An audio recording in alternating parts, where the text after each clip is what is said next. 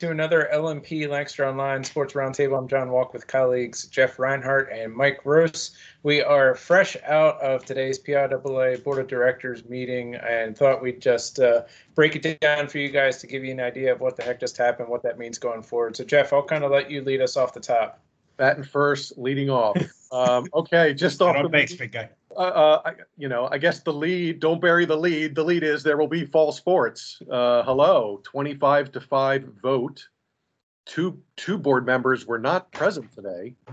Mm-hmm. Uh, 30 of the 32 were there and voted. It was 25 to 5. And the people who voted no were the people I figured would school board, uh, principals, school administration. Those folks voted no.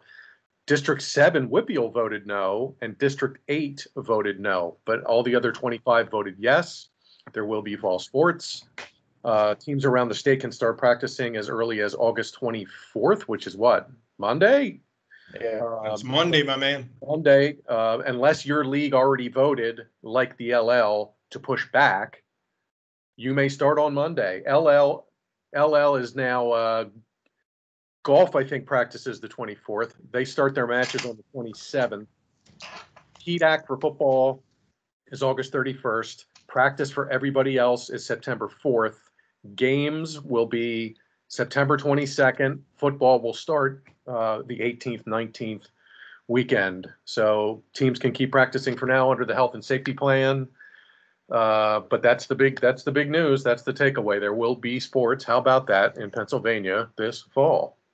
And Mike, now that okay, PIAA says we can go forward with sports, that that really means now it's it's basically up to individual school districts as to proceed as normal, right? Which it always was. Always was. I mean, I mean, it's it's um, uh, I, I'm I'm amazed at people who are determined to not understand how governing is done so that they can bitch about it. I mean, that's the reason they don't want to think it through and, and try to understand it. But it, it this was always the case. Uh, uh, um, but you know, it's a governing body. The PIAA is a governing body, and and they they governed uh, uh appropriately. Although I thought I thought Penn Live's reporting was kind of interesting. It suggests that they're their uh, dialogue with the governor's office may have been a little more extensive than than than uh, than they portrayed it to be, which is kind of disappointing. But the bottom line is that the PIAA has fought really hard to make this happen, and and and today they did. I think a, a couple of things that jumped out. Um, Lombardi said they're going to monitor the fall season, and if there's areas in the state where not a lot of teams are playing and opt out, they will explore every option to give those fall kids a fall season later in the school year. So you could have a county, I don't know, somewhere where only maybe three teams are playing out of 12. Well, you could you could see those other nine teams that didn't get to play. You might see them have a football season in April. And they actually passed a motion, a motion. formally passed a motion to to give themselves that uh, mm. ability, and it's going to be, and, it it could even factor in if there's areas of the state where individual schools just yeah. decide to to to drop out so a certain league doesn't have enough teams to play a real season like they they only have three teams left or something that are playing they yeah. might they might fix that somehow or adjust that uh, uh, somehow and obviously they have not begun to look at uh, state championship tournaments in any of the fall sports because they don't know how many teams are going to be playing. They don't. I mean, they they can't even start on that yet. And the other thing is spectators. Uh, as of now, the this rule from this from the Commonwealth of Pennsylvania. 250 people at outdoor gatherings, 25 at indoor, that still applies, which means that not very many spectators are going to get to get in to see these games unless that changes, unless they can negotiate with the governor's office to, um, uh, you know, to get some kind of special dispensation. And I, I don't know that the governor's office is going to be all that disposed to go down that road after the way they've kind of been jerked around. And there's not, uh, I mean, I don't. No, um, the um, um, the liability issue came up, and Lombardi said they will defer to the Department of Health if you have somebody test positive on your team, and then it'll be up to your school's protocols how you're going to handle it. Um, fans in the Well, yeah, but that's an insurance issue. That's That's insurance insurance. issue. They don't have it. I don't think that insur I don't think that kind of insurance exists right now. Something's gonna have to be, that needs fixed, for Definitely, sure. Definitely. That needs fixed. a lot of people have to scramble right now because um, you can you can go play sports on Monday morning.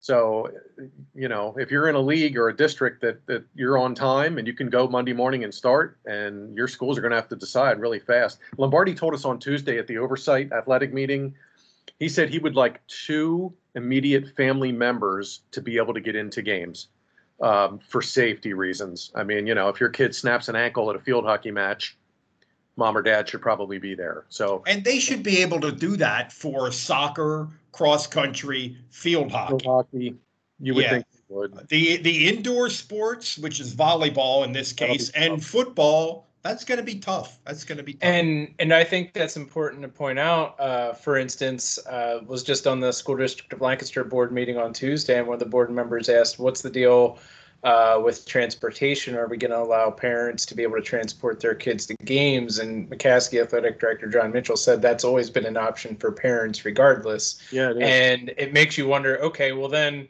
you don't want to make those parents drive, I don't know, little Joey, little Susie to a game, possibly with a teammate or two, drop them off, and then not be able to stay and watch the game if spectators aren't allowed in.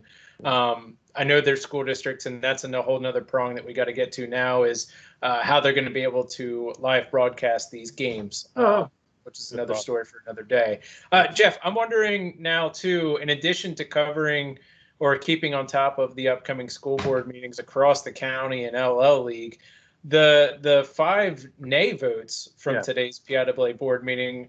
I wonder if we should also be monitoring like those individual districts. Is District Seven going to come back and hold a vote now as to whether or not they're going to play? It, it makes me wonder if that's on the board. Well, and that's Allegheny County, and Allegheny County. I, I don't think they would decide as a district on that. I think, again, it's individual school. Okay. Yeah, Yeah, I I, I think, I mean, I don't know that. It's a good question, but I saw uh, Mike White from Pittsburgh and Chris Harlan from Pittsburgh tweeted out today the the Allegheny County Department of Health said teams can play outdoors. You can have football games, you can have field hockey games, but they Yeah, said we don't want that too. spectators there. No no spectators. And uh, you know, we should point out here, though, the school district of Philadelphia, which is a humongous operation. gigantic, gigantic. They're not playing fall sports. They're No. not playing until uh, January 1st. I mean, I had a lot of people ask me on the Twitter machine today, well, if they let, if they're going to let them play, can these leagues come back? And I said, well, they probably have it in the small print that they're, you know, they can change their mind and come back and play. But I think the leagues and the teams that already opted out, I don't think, I don't think they're going to come back. Even I, I would doubt that. Yeah, I agree with you about that. Right. Here's an interesting piece of that, though. Some of the best bas- some of the best high school basketball in the country is played in the school in the school district of Philadelphia in District 12. Are they going to start basketball on January? I mean, I realize this is way down the road and, and complete speculation, but are they going to start basketball? You know, three weeks or a month after everybody else has started basketball. who knows? That would be weird, wouldn't it? I mean, like, people are like, I mean, it's workable. That's work. I'm not saying that's a huge deal, but people are kinda like, when's basketball going to start? How about spring sports? And I'm like, just let them, let them figure out the fall.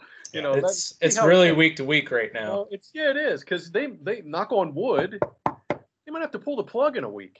Uh, Who knows? might. Nobody They might. knows. That that's Really the might. now moving forward. Now now more than ever. How many times have we said that in the last six months? Now more than ever, you better follow your health and safety plans because if anybody gets sick, if there's an outbreak, you know whether you believe in the data or masks or any of this or not, if there's a if there's an outbreak and they got to cancel games and leagues and seasons, we're in big trouble. And and I think that's the point here is we've seen a lot of questions. Okay, if a player tests positive, a team shuts down for 14 days, um, then what? And I think we'll just have to figure that out as we go here. As far as does does a team eat a forfeit loss? Do they reschedule that game later in the year? Does the school district then come back and and shut all things down? I- It's kind of it's too early to say right now. Yeah, I think the three of us can kind of breathe a little sigh of relief. Uh, we have voiced it. Day, one day at a time. I'm just All uh. I'll take today as a victory, and and we'll see what happens tomorrow. Really is, is Small victories are good. Uh, I think I think on the horizon now, there's going to have to be a lot of scrambling We need to look at who's going to opt in, who's going to opt out. We I definitely have to do that LL golf preview. Uh, You better get That's, that. that's now urgent. That's now urgent. The course on Monday morning, practicing chipping and putting. We, uh, we need to look at who's going to opt in and opt out. And, and if people opt out, that's going to change schedules again, might change playoff schedules again. Um, um, and we'll monitor the fans if they're going to let anybody in. And I've been telling people now for weeks, it's going to be different. It's going to look completely different. And odds are they're probably not going to let you in. Mom and And- dad, maybe.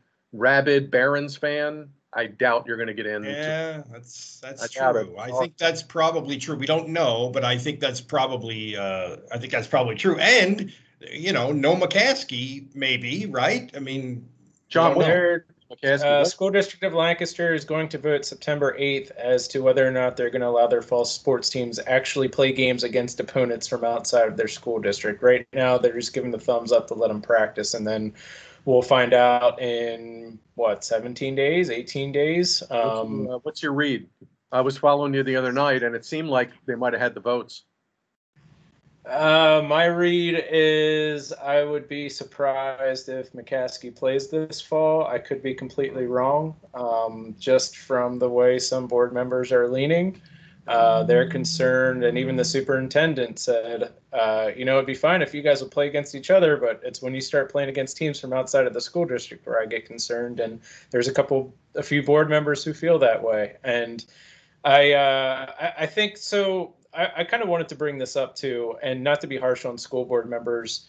I'll say this at the top. I know they have a lot to do. I know a lot of them are working full time jobs, but hey, you're a school board member. It's a service to your community. There are hundreds of kids playing sports. They have moms and dads, they have brothers and sisters. This is impacting hundreds of lives. I think it behooves school board members across the county and across the LL to become familiar with the health and safety plans that the athletic teams have been following for the last seven weeks as they've been easing into this transition now, and also familiarize yourself with the 26 page return to play plan that the PIAA approved, what, three weeks ago now, as far as how to proceed safely uh, within these constraints as far as a fall sports season. The reason I say that is because there's just been a lot of questions from board members that I've seen. Granted, it's a small sample size. I've watched E-Town School District Lancaster the last two weeks, but I just some questions I hear, and it's like, are you guys not familiar with this health and safety plans Yeah. that you just passed within the last month? Did you not? I hear you. at all? Yeah, that's a good Um, point. If they're not, if, if they're not well versed in that, that's that's pretty And- weak. Right. And hopefully school board members, you know, are doing their due diligence and taking a look at that because now they have really important decisions to come up here in the next two to three weeks. Um, and, and we'll see what comes of that. And I think that's kind of the next uh, domino that we have to follow here. Right. Um, Mike, the uh, the athletic oversight committee from Tuesday uh, meeting. Yeah. Can you just kind of give us a summary of what happened there? Well, um, it, it was a pep rally for Let's Play Sports. yes. Yeah. Okay. I mean, I, I, I you know, I, I love Scott Martin. I, I, I'm not sure that committee even needs to exist, and and I'm not sure what they were doing yesterday. That was really an annual scheduled meeting where Bob Lombardi goes to those guys and gives them like an annual report. That really was not. That would have happened if there was no pandemic. Uh, um, and it is pretty cool that Scott Martin, who I like a lot, is is now the chairman of the committee, and and Thomas Haynes, the the wrestler From uh, from Solanco. Solanco, is going to be an administrative aide to, to that committee. He works up there now, uh, and and he was an intern in Martin's office, so that's pretty cool. I mean, I I like those guys, but uh, but um, that was just that was just a pep rally. You know, I think they trotted out like a dozen people and they were all, you know, well spoken and had their statements prepared. Mark Evans, Manheim Township football coach, was on and he was great. But, you know, 10 to 12 people basically sat there in front of their Zoom camera and said, you know, please let us play. And a Yeah. couple of those were filibusters. I mean, my God, I, I was about ready to. That guy from North Allegheny. If I could have driven to North Allegheny and quickly, I would have smacked him upside the head. But uh, that was uh, way, way, way, way, way, way too long. But, but uh, yeah, that's what it was. That's what. All it right, was. Jeff, can you, uh, I know you kind of said this at the top, but just a quick refresher, the LL League start dates for fall sports, what those are, what were we looking forward to now? Golf, Monday the 24th. They can practice. I believe the first matches are August 27th. 27th, yep. No, so that's next week. Uh, What is that, Wednesday? Wednesday, they'll have Thursday. matches. Thursday. Yep. Thursday, Okay. Uh, four left. Um, Heat Act, and they they made a Heat Act uh, mo- motion vote thing today. Uh, in the spirit of Heat Act, uh, if you can't get all of your Heat Act practices in, they want you to get in as much as possible. So they're not making you go five hours every day for five days. You can go three hours uh, just for this year because it's so different. So Heat Act will be the week of August 31st. Everybody else, September 4th. Football, if it's on, the first football game is Thursday, September 17th. The Jenkintown Drakes visiting Pequea Valley in a non-league game, and then Friday the the 18th. Friday the 18th will be the first full Friday night of football. Um, and then all the other fall sports will start Tuesday, the 22nd. Obviously, truncated seasons. Uh, I was at a soccer practice actually this morning, and the word around soccer is they're going to play a 12 game season, pretty much just head to head section and maybe a crossover. We've seen the football schedules. It'll be truncated. Less less teams will make the LL playoffs. Fewer teams will make the district playoffs. Uh, and then we'll see how PIAA handles these state playoffs later. And Mike, I think the word was Thanksgiving, right? They want to be done by Thanksgiving. They want to be done by Thanksgiving, yeah. so they can get it done, get it in, and see see where the winter where the winter will be. Right. And by the way, just in regards to uh, cross or uh, fall schedules for cross country boys and girls for LL League schedules, anyway, the revised ones. Mhm. Um, I'm looking at them now. It looks like September 24th, September 28th, uh, October the 1st, October the 6th, and October the 13th. So that's five meets all in like a four week span, which I know is a ton of running, but I think it's worth pointing out here that the LL League does not have any parameters that a runner has to participate in X amount of meets in order to qualify for the LL League meet. Um, although the LL meet, the parameters there are still TBD. Um, and then the District Three meets, it's a top ten runner from uh, from each classification, or top ten runner from the league meet goes to districts. Um, so there might be, I'm hearing there might be a two A league race, a three A league race, and then the top ten runners move on from there or something like that to districts. I'm still kind of working out those details, but it's it's worth pointing out here because I had some questions as far as man, that's a lot of running in a short time. Well, runners aren't necessarily going to be required to run each of those races in those four weeks, so. Uh, perhaps some some coaches can sit out there. I just hope we're we're able to kind of get that far. It seems like September, what did I say, 22nd, 24th? Um, September 24th is kind of a far off date here. It's a whole month and three days, but hopefully we can kind of get there. I Um, think this means we need to get cracking on the football tab. Yes. yeah.